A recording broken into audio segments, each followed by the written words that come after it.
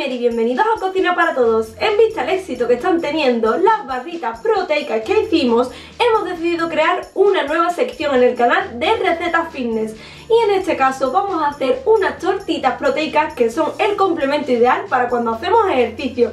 Están súper jugosas, quedan súper ricas y a mí su sabor entre vainilla y plátano me encanta, así que no os la podéis perder. Para hacerlas volvemos a contar con la ayuda de Profis, que es la mayor tienda online de productos de nutrición deportiva de Europa, ya que la calidad de sus productos nos han encantado y hacen que nuestras recetas queden de 10. Así que ya vamos a empezar. Lo primero que vamos a necesitar es un vaso batidor, ya que en él vamos a triturar todos los ingredientes, pero si no tenéis podéis utilizar un recipiente y triturarlo con ayuda de una batidora de mano. Así que ya vamos a empezar a meter ingredientes. Comenzamos con un plátano, que es una fruta que aparte de aportar su sabor característico a las tortitas, endulza las recetas de manera natural. Además tiene un montón de potasio que nos puede proteger frente a los típicos calambres musculares. También media taza o 50 gramos de copos de avena que nos carga de energía y repone los niveles de glucógeno después del entrenamiento. Seguido un scoop o 25 gramos de proteína de suero de leche. En este caso yo la he elegido de vainilla, pero también la he probado con la de chocolate y también queda riquísima.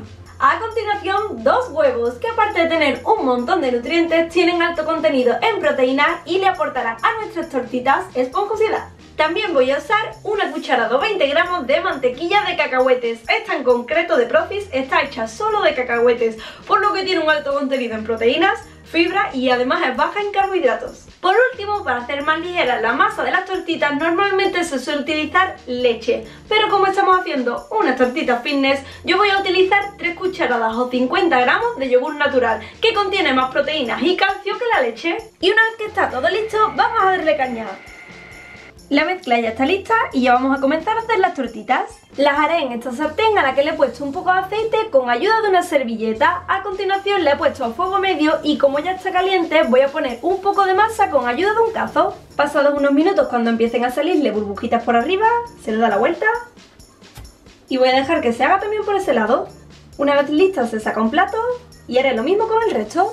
En total han salido 6 tortitas y como podéis ver tienen una pinta increíble. Ahora podéis complementar las tortitas con lo que más os guste. Yo voy a utilizar sirope de agave, ya que tiene un bajo índice glucémico y es perfecto para complementar estas tortitas. Mmm, qué buena pinta. ¿Quién puede resistirse a estas tortitas? Yo desde luego no. Mmm, mmm.